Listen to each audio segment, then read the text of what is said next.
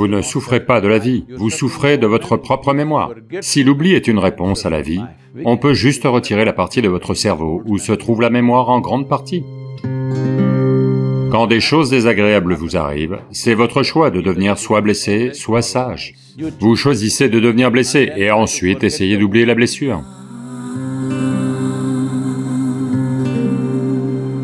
How can I forget someone who hurt and betrayed me and move on with my life?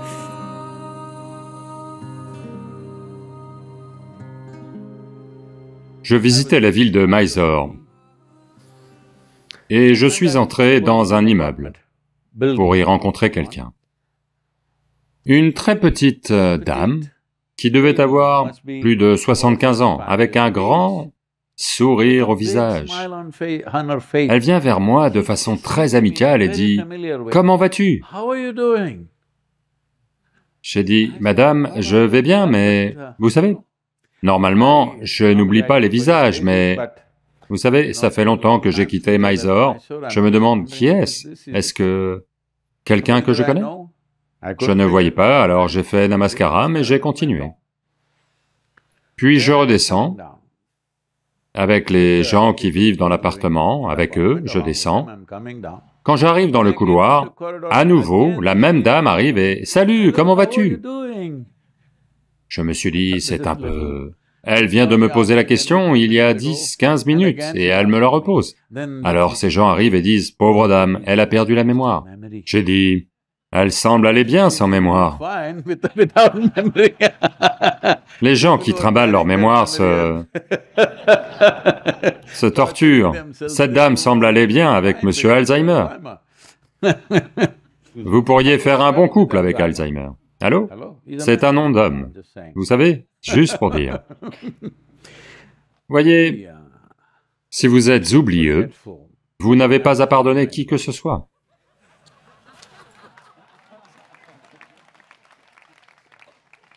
Donc, quand vous dites « oublier », essentiellement, vous souhaitez que Monsieur Alzheimer vous rende visite, et il pourrait le faire. Ne souhaitez pas de telles choses. Allô? Vous dites, je veux oublier ci, je veux oublier ça, ça pourrait être exaucé. Votre souhait pourrait être exaucé. Pourquoi devriez-vous oublier quoi que ce soit? Vous essayez d'oublier parce que vous ne savez pas cette chose simple, que vous souffrez de votre mémoire. Vous ne souffrez pas de la vie. Vous souffrez de votre propre mémoire. Si vous perdez cette mémoire, que va-t-il se passer? Disons que Hier, quelqu'un a foncé droit dans une euh, colonne de pierre à l'ashram. D'accord? Il courait à toute vitesse et boum Donc, supposez que vous l'oubliez. Peut-être que tous les jours vous allez foncer dedans. Une fois que vous percutez une colonne de pierre, qui ne vous court pas après, elle est juste posée là. Si vous l'oubliez, chaque jour, vous allez vous éclater la tête. Si vous percutez une colonne de pierre, vous ne devriez jamais, jamais l'oublier. Cette colonne de pierre pourrait être une vraie colonne de pierre, ou votre belle-mère, je ne sais pas qui. Voyez, votre belle-mère ne vous court pas après. Elle se tient juste dans la même position que quand votre mari est né. Allô?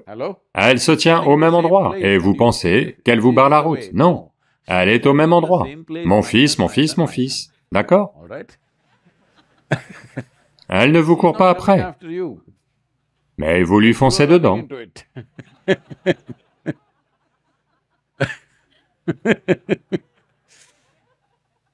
Donc, quoi que vous percutiez dans votre vie, si vous l'oubliez, vous allez continuer à foncer dedans.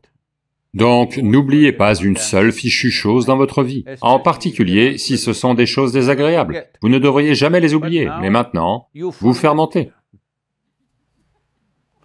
La mémoire est là pour vous être utile, mais vous fermentez la mémoire. Et maintenant, il y a un brassage, et ça fait de la bile en vous, et crée de l'amertume. Non, non, la mémoire est censée être stockée sur un... sur une puce, vous savez. Même plus une clé, c'est une puce. Mais ici, le mécanisme est tellement sophistiqué, la technologie, ce n'est même pas une puce, c'est simplement quelque part un petit bout de chimie qui la tient. Donc laissez-la être là. Si vous lui permettez de fermenter, bien sûr, elle va vous intoxiquer, elle va vous empoisonner de diverses façons.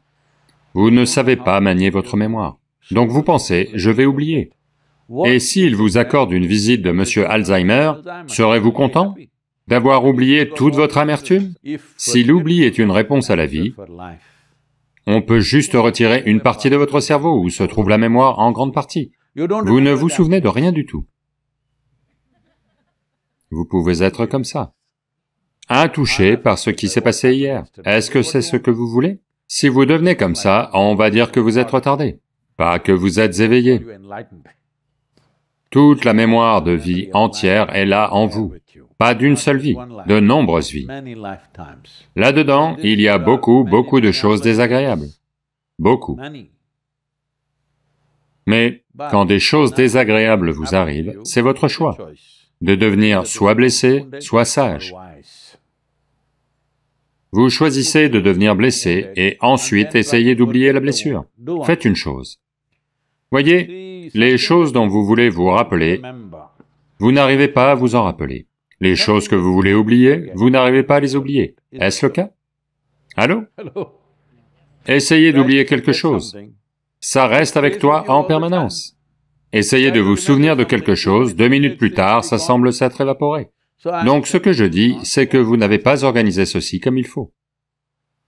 Vous n'avez pas programmé votre ordinateur comme il faut. Si vous dites « souviens-toi », il oublie. Si vous dites « oublie », il s'en rappelle tout le temps. Même dans vos rêves, les mêmes gens reviennent. Regardez juste cette personne et dites « je veux oublier ce visage ». Ce visage va... Où que vous regardiez, dans les arbres, il va apparaître, dans le ciel, il va apparaître. Donc, ceci est la nature du mental. Vous, sans comprendre une seule fichue chose sur vous-même, vous essayez de tâtonner à travers la vie. C'est ça le problème. Le problème, ce ne sont pas les situations de votre vie. Le problème, c'est que, sans même lire le mode d'emploi de base, vous essayez de traverser la vie. Il y a un prix à payer. Si vous ne payez aucun prix, je vais être déçu parce que ça a pris des vies entières d'observer et de comprendre comment ça fonctionne. Sans rien savoir, si vous aussi vous pouvez vivre comme moi, je serai très déçu. Je vais penser que c'est très injuste. Allô? Oui ou non? Tu as fait l'effort d'arriver quelque part. Quelqu'un d'autre a juste été poussé là. Ne pensez-vous pas que c'est injuste? C'est la même chose. Donc une chose, c'est que il n'y a pas besoin d'oublier, vous devez vous souvenir de tout. L'autre chose, c'est pardonner. Si en premier, vous pensez que cette personne a fait quelque chose d'horrible, ensuite vous essayez de pardonner, si vous ne les étiquetez pas comme ça, où est le besoin de pardonner? Allô? Si vous acceptez les gens tels qu'ils sont, différentes personnes sont faites différemment, si vous les acceptez tels qu'ils sont en ce moment, vous allez apprendre dans quelle mesure opérer. Si vous pensez que vous ne devriez travailler et vivre qu'avec de très bonnes personnes, je vais vous dire, même ici, au centre de yoga, ça arrive. Beaucoup de bénévoles, tous les deux jours, quelqu'un vient me voir et dit, « Il est horrible, je ne peux pas travailler avec lui.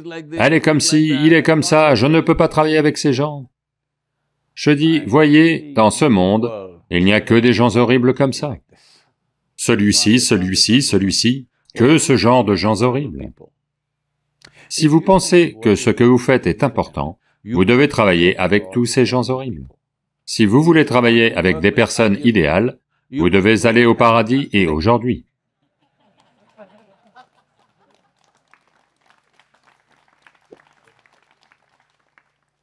Des personnes idéales.